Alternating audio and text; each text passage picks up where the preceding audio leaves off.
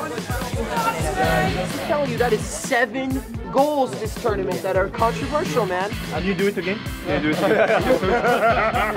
I started playing soccer when I was four or five years old. I slept with a soccer ball when I was a kid.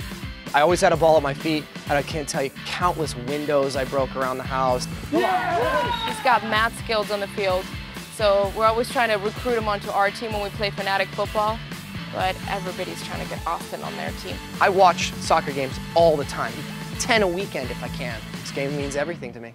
Maurice Edu, he's a central midfield player. He plays in, at Rangers in Scotland. A lot of us call Austin Austinpedia because there's not a fact. This boy doesn't know about soccer. The thing about uh, Onyewu is he's, he's a strong guy. But he didn't re-sign his contract, so he was playing on no deal. He knows every player, what club they play for, the past five clubs they play for. He's our all-time leading goal scorer. I think he just turned 21 a couple months ago. He plays for Bayern Munich. When he's talking like all the Europeans, all the South Americans, they're shocked. Before I came into the house, perceived American people as not knowing too much about soccer, shall I say. This is the guy I was telling you about, man. He's changed my perspective completely. He knows so much about the game, it's unbelievable. Lionel Messi and Carlos Tevez and Pipita Higuain. His knowledge is incredible, and I really appreciated him being in the house because it's nice to have that chat with someone. And you could go on and on and on, on and on and on. Yes, yes, yes.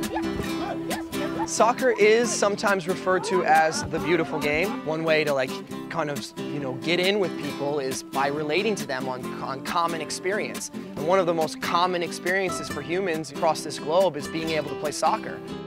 Once you step on the field, I mean, wars stop, you know, differences stop, everything stops for those 90 minutes and you have a, a, pure expression of two different cultures playing an equal game and, and, and having it out in that sense.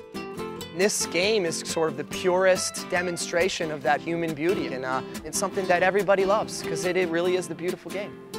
His love for soccer or football, I mean, shows in his knowledge because this is his passion. Anyone who's around him five minutes knows this guy is a soccer nut.